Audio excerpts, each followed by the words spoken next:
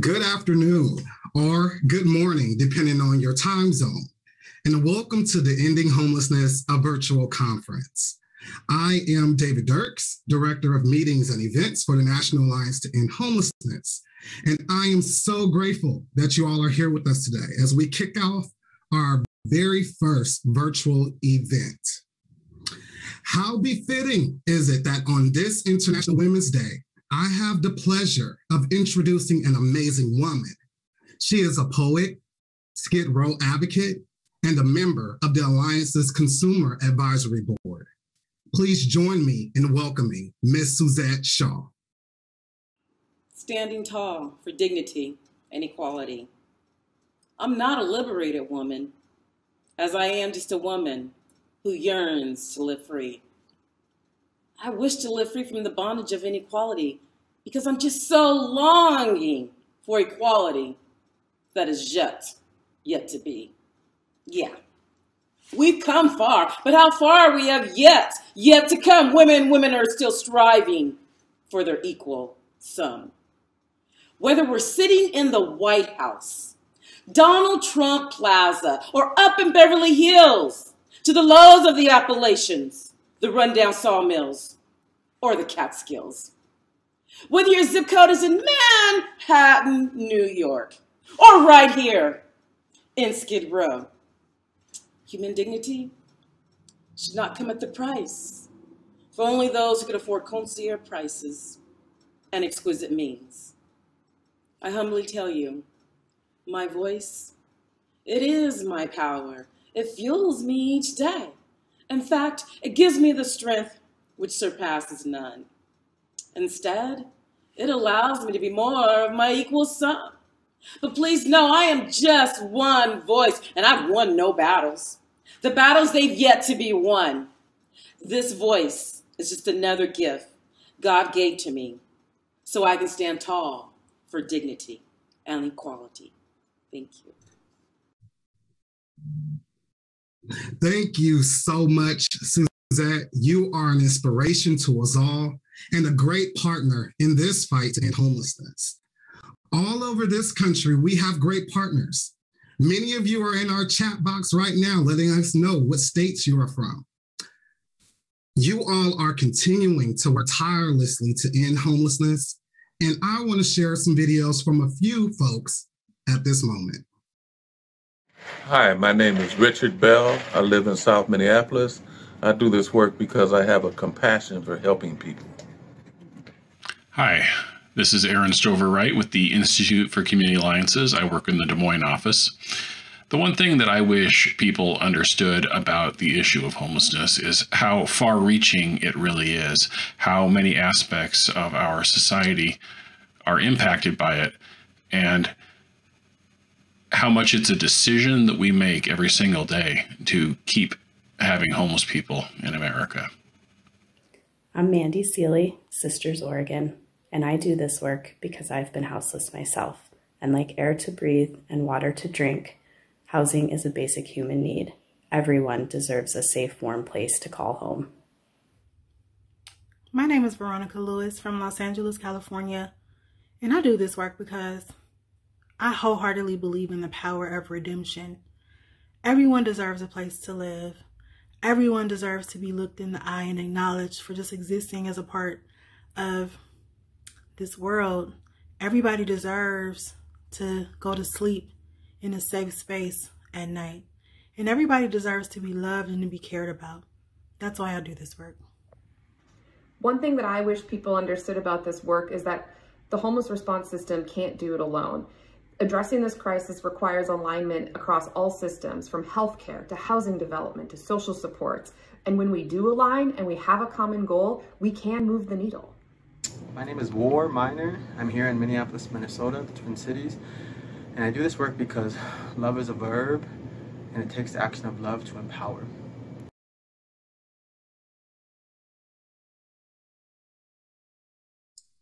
Technical difficulties. Wow.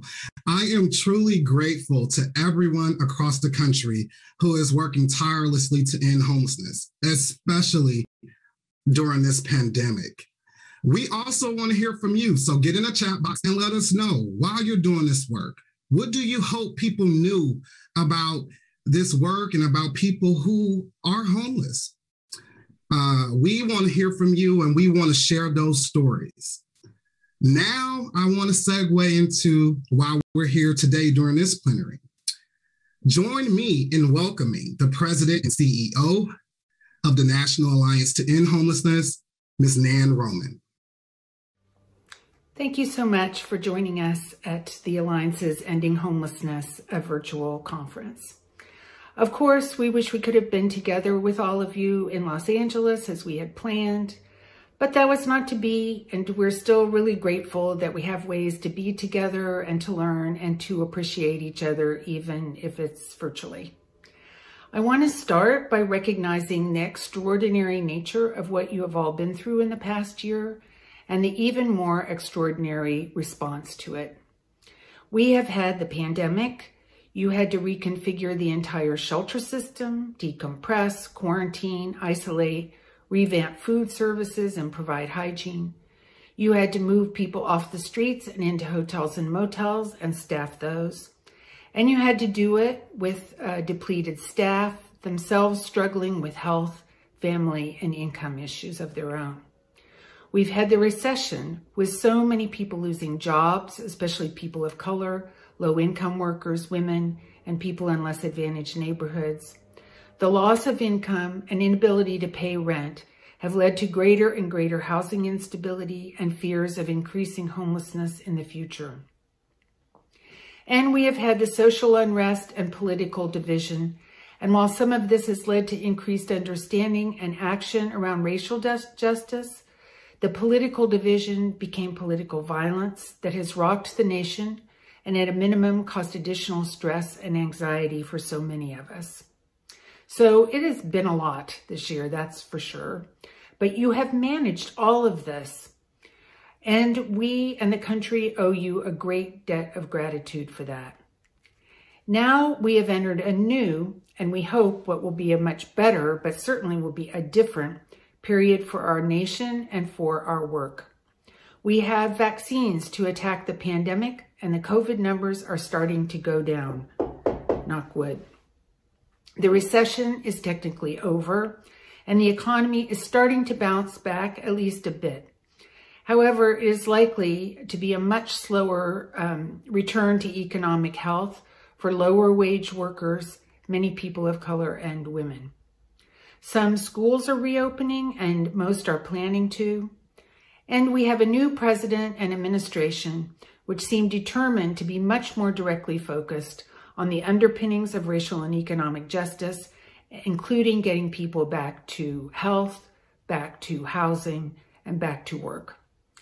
And there has been some reckoning and certainly increased awareness around racial justice issues.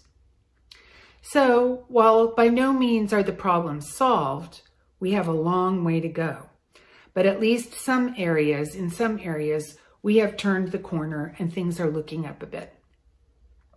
I'd like to talk to you today about um, the challenges that lay ahead for us, what our opportunities are, and where we might focus in the period ahead. Basically, if our goal remains to end homelessness, and make no mistake, homelessness can be ended, we will need to base our strategies on values that will both improve our effectiveness and give us a guide star as we move forward. Let re me remind you of a few um, things you may have heard before as they are based on uh, values that were in the framework for an equitable COVID-19 homelessness response. One is the commitment to address racial and income disparities. We must look at all our work, our strategies, in the light not just of whether they might result in disparities, but also as to whether they help eliminate existing historical and systemic injustices. One way to do this is to involve people with lived experience, people with color, and others affected in the planning and implementation of our work. We can also use data to uncover the specifics of where disparities exist and what drives them. Also important is our goal uh, that uh, is that our goal must be housing, ending people's homelessness. Getting people into shelter is a step toward that goal, but it is not the goal. We have seen in this pandemic the impact of the social determinants, including housing, on people's health. We can build on this growing understanding of the intersectional impact of housing to gain more support for the housing resources we need. Another value is to make sure the most vulnerable people get help, including unsheltered people, people with disabilities, and families with very young children, among others. This can also help to address racial equity as people of color who have been discriminated against in housing and health are disproportionately in these vulnerable groups. Having said we should help people who are most vulnerable, however, we must also be clear that helping the most vulnerable cannot mean that um, others get nothing. We do need to use our resources more strategically to ensure that everyone who becomes homeless gets as much assistance as possible. And a final and very important value is to act with urgency. You did this at the onset of the pandemic, accomplishing things none of us would have thought were possible. It's hard to keep up a sense of urgency on a problem like homelessness that's been around for decades. And in the pandemic context, I know that you must be tired of, of everything seeming like it's urgent and being urgent. But homelessness is an urgent problem for every single person who experiences it. And we must act and respond accordingly. There are some values that can guide our work then. Centering equity, housing as a goal, a focus on vulnerability, but something for everyone, and a sense of urgency. What are some immediate challenges that we face as we move forward?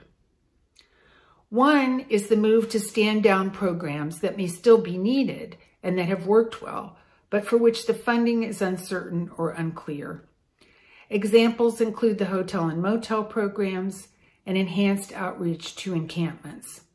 There are often ways to keep these needed programs up and running, but there may just not be the bandwidth to reconfigure the funding or staffing to support them. We're sometimes challenged to take on new programs that are funded by one-time only or time-limited resources. Even though the programs may be needed and may be well-funded, there can be reluctance to start something that, that can't be sustained over time. How do we take advantage of opportunities and figure out how to sustain needed programs rather than reject them because they come with some element of risk? Many jurisdictions are broke or fear that they will be broke, and they're moving around resources to hoard local funds or because of changing priorities. This can make it awfully difficult to take a solid, well thought out and sustainable approach to homelessness programming moving forward. There are lots of challenges too, of course, around specific issues like vaccination. New activities and programs for which there are not the clearest protocols or obvious right answers, which are complex, which may involve trade-offs. I will say, uh, just as an aside, on behalf of the National Alliance to End Homelessness, that we do think that homeless people should be prioritized for vaccination, a strategy that will not only protect this vulnerable group, but will also contribute to racial equity. And we need to be thinking about looming challenges, challenges ahead. What will happen when the eviction moratoria end? What will happen as unemployment continues for low-wage workers, but income supplements disappear? How will we ensure that youth and young adults are able to attach to a diminished job market so that we don't have a whole new gen uh, generation of homelessness moving forward in the future? How we will address these problems and other problems in ways that remediate disparities and inequality among people of color and those living in dis disadvantaged communities are just a few of the challenges that we will face going forward. However, there are also some really incredible opportunities before us. If we can muster the will and creativity to take advantage of them, and it's a big if, we know that because there are so many barriers at the moment, and people are just exhausted and depleted from the work of the last year. Still, I wonder if you have had the time to really add up the federal resources that are currently on the table to address homelessness. There are usual appropriations of nearly $7 billion per year. Then, in addition, there was $4 billion in ESG in the CARES Act. And of this money, we estimate that something less than 2 billion has not been assigned to any specific project yet. So it is at the disposal of jurisdictions. In addition, um, the Rescue Act, with any luck, will provide $5 billion to help homeless people and those at risk. This will be routed through the HOME program and targeted to acquisition of properties, rental assistance, or for most of the uh, regular ESG activities. If you add together the CARES Act, the remaining CARES Act money, and the Rescue Act money, that means that we have nearly 7 billion additional dollars at our disposal, again, in addition to the annual amount you already get from Washington. And that's not all that's on the table. HUD also has unused vouchers targeted to people experiencing homelessness and a significant number of 811 vouchers, rental vouchers for people with disabilities, both of which could be tapped, either as straightforward rental assistance or project-based to match up with acquisition of, for example, hotels and motels. Hotels and motels, by the way, that can be purchased with the $5 billion in the Rescue Act.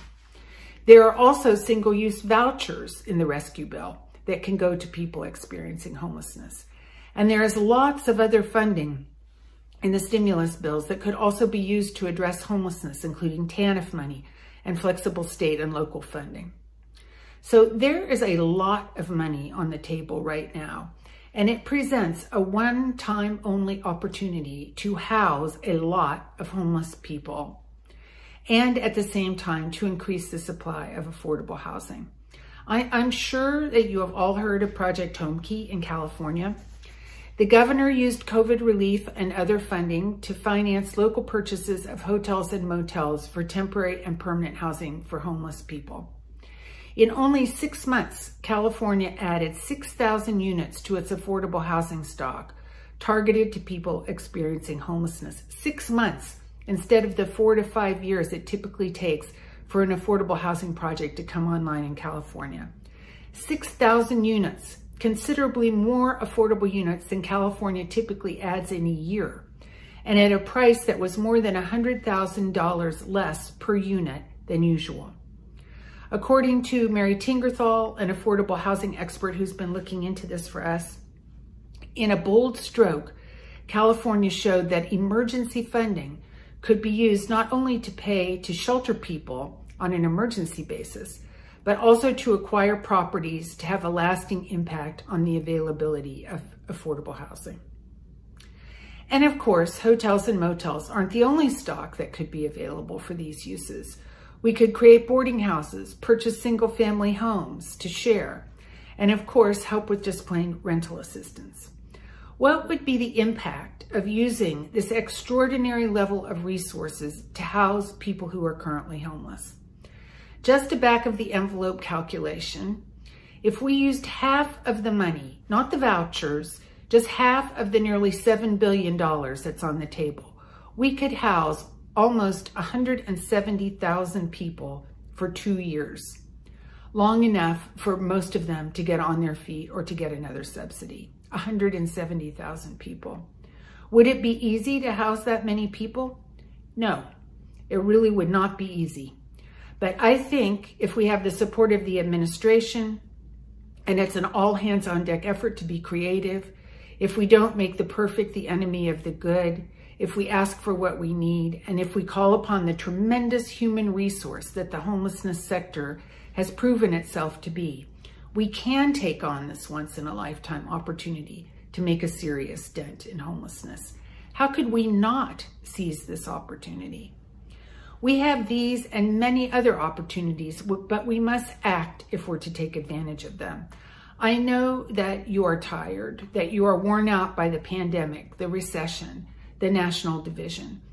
I know that work is now difficult and complicated at the local level, and I know that everyone is struggling with a host of critical priorities, none of which can be ignored. I wish this incredible opportunity had come our way when we could have been more prepared or we, we'd have the leisure to do more planning and get ourselves together on it. But we simply cannot, we cannot fail to take advantage of the moment, of the resources before us, of the goodwill and partnership of the federal government and so many local allies as well. We can't miss this opportunity to make a significant reduction in the number of people who are currently homeless. We just cannot. In closing, I want to thank you so much for everything that you do and everything that you have done. I hope that you will take good care of yourselves. I hope that you will enjoy the conference and, and take the time to learn new things and get a breath of fresh air. I hope that you'll keep in touch with us and other national partners as we all work together to set our nation on a path to end widespread homelessness once and for all. Thank you so much for what you do, and thank you for joining us here. Thank you so much, Nan, for your fearless leadership. Something that I want to reiterate here is that we have an amazing opportunity to make drastic reductions in homelessness with the current spending bill that Nan just went through in her keynote remarks. So I just want to encourage all of us to continue doing the work that we know is going to end homelessness for people and move them into housing. I also want to take a time right now to just talk to those of you in the chat box. Um, unfortunately, the closed captioning may not have been working for some of you. If you refresh the page, come back in, press the play button, you should see the CC closed captioning logo in the bottom right corner. And now I want to introduce a special group of, of folks. In 2017, 14 mayors and CEOs joined forces with the nonprofit leaders and policy experts, including the Alliance, to create a bipartisan coalition to tackle affordable housing and homelessness.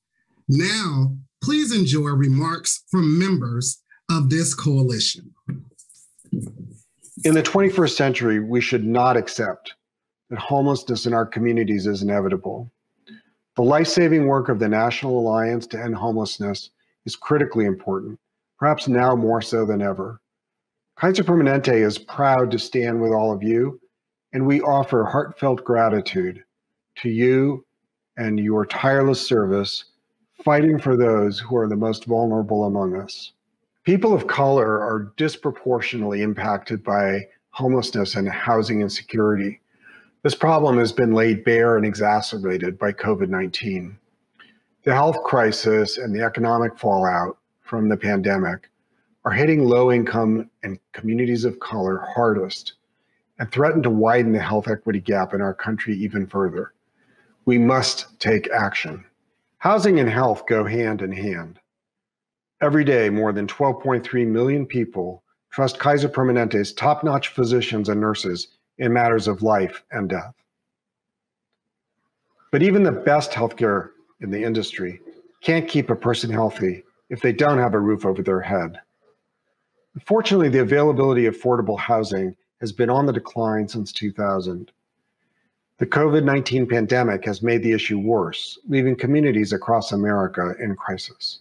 The high cost of housing means a growing number of families are living in unsafe conditions.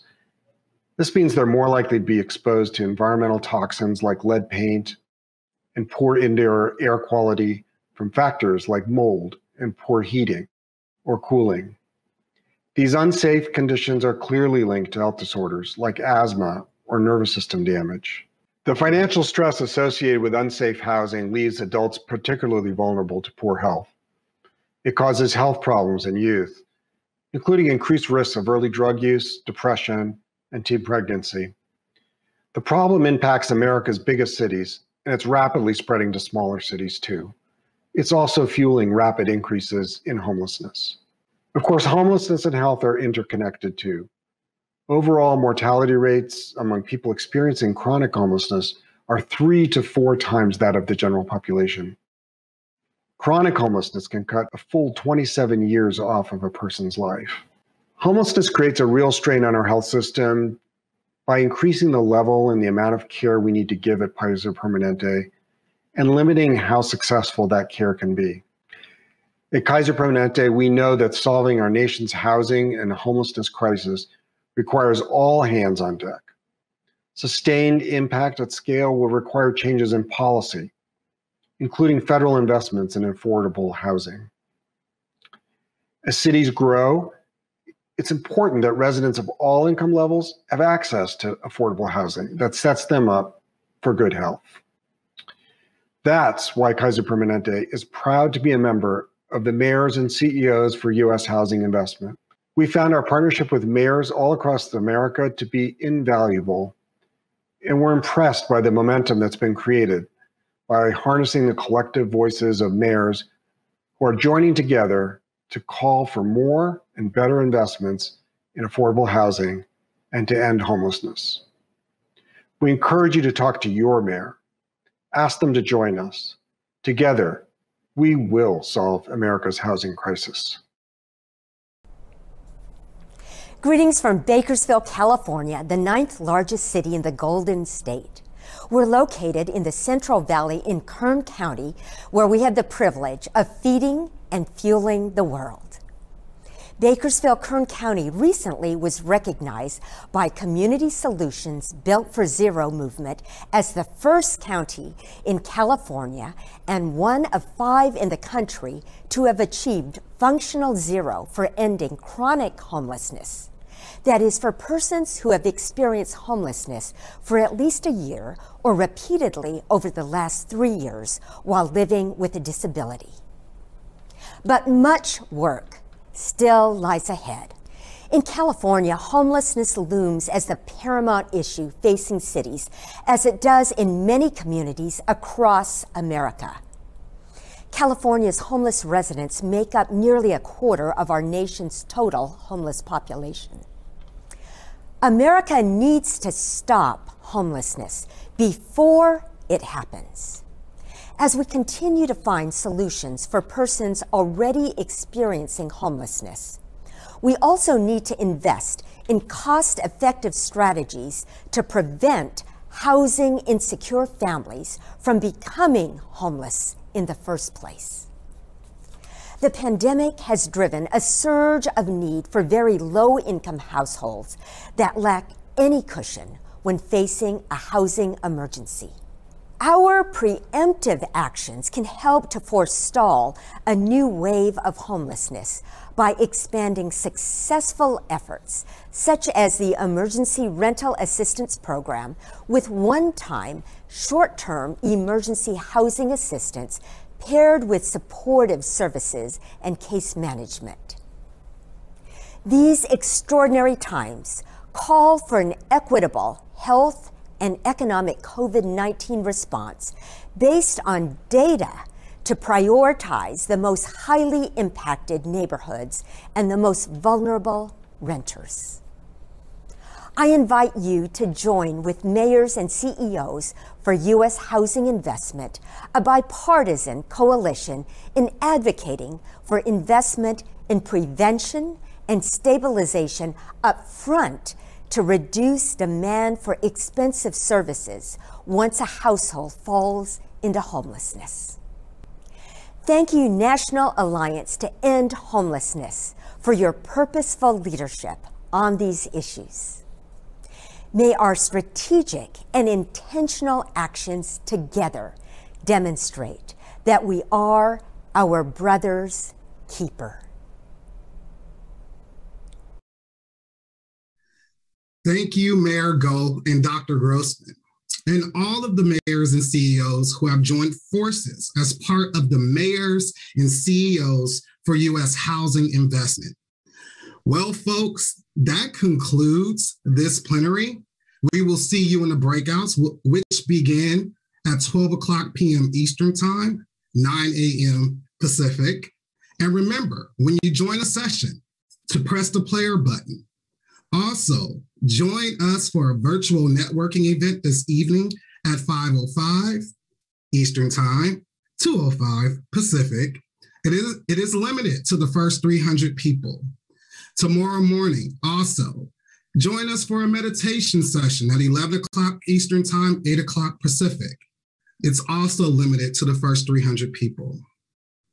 Once again, thank you for attending this conference. Thank you for all the work that you are doing. And we actually gave you a couple of minutes to take a break before the planner, before the workshop sessions begin.